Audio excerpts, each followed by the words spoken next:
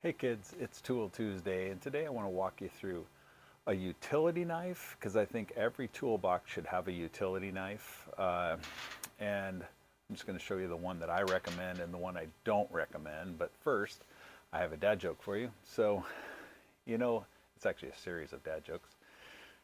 Hopefully you won't groan too much. You know I tried to join a knife club but I didn't make the cut. They said I wasn't sharp enough and sometimes I can be blunt. Ah, so anyway, let's get started. All right, so this is uh, the one I don't recommend. It's very similar to one that I had, my very first utility knife, and the way the, the way it works is just push down on this and you slide it in and out, right, like that. That's how it works. It's all fine and dandy until you need to change the blade, okay? So when you go to change the blade, you actually have to take it apart. So you have to, there's a screw right there that you have to take apart and it's just it's more complicated than it needs to be. So it works well but changing the blades are, are more difficult and I think there's just better options now. Also what I want to show you too is this is actually a uh, it has a whole bunch of blades in it spare blades and then what you do is when you when you use your blade you put it in the top and I can show you right there. It says it actually shows a picture of a garbage can to show you that you put the used blades in the top, and then the bottom ones uh, are the new blades that just slide out, right? And so that's so you use those when you when you replace your blades. And then there's also these this particular dispenser too. It's just spring loaded. Let's see, and you just slide it out like that, right? Okay. So that's those, because when you go to dispose of your blades, be very, very careful. Um, I've heard where people have used water bottles and they'll put, cut a slit in it and then dispose of them that way, put them inside there and just, you know, and then once they, you gather quite a few, then you dispose of it.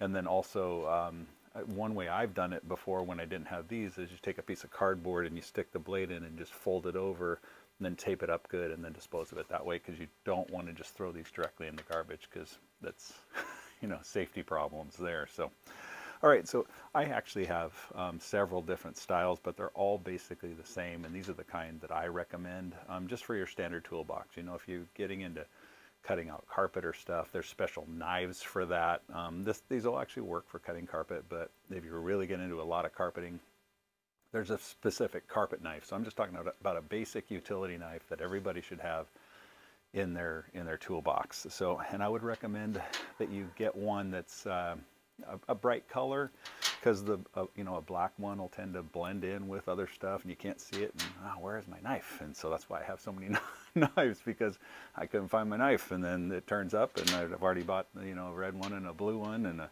a silver one. So um, but each one actually uh, opens up in uh, a little bit different. Well they don't necessarily open up a little bit different. They all kind of open the same way. They open like that and then they lock in.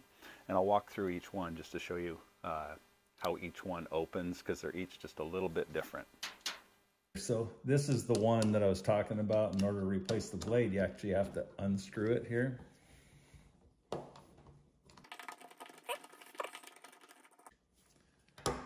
Okay. And then you take it apart like this. Let's see. It comes out like that. Okay, and then you got some spare blades in the back, and then you got this. And then this this piece here can get offline right here. That's the that's the button there that's going to slide in and out and get offline. Just much easier to use these other kinds. So I'll walk you through those. So I'm just going to put set this aside. All right, so the way this one works is you just open it up like that, and then you need to pull back on this, this particular lever right here. You pull back on it, okay?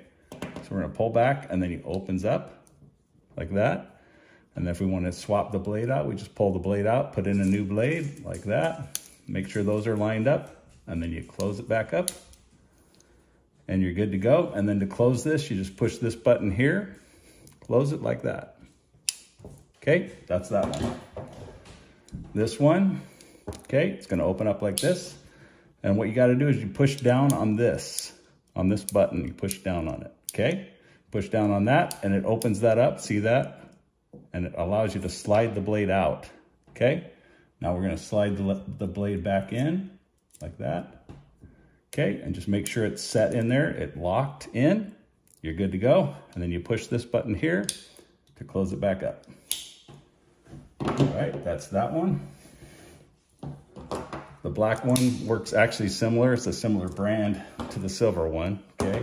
So it's basically the same thing. You're gonna open it up like that. We're not gonna go through that because it's the same thing.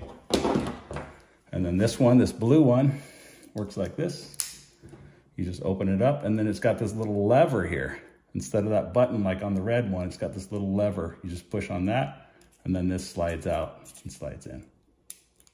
Okay, there you go. All right, so um, hopefully you understand. Yeah, you're not get, don't want to make it too complicated, but these are the these are the way to go. This type of knife, it's just so easy to change the blade, makes it way easier on yourself. Uh, yeah, and then if you need to swap, you know, you pull.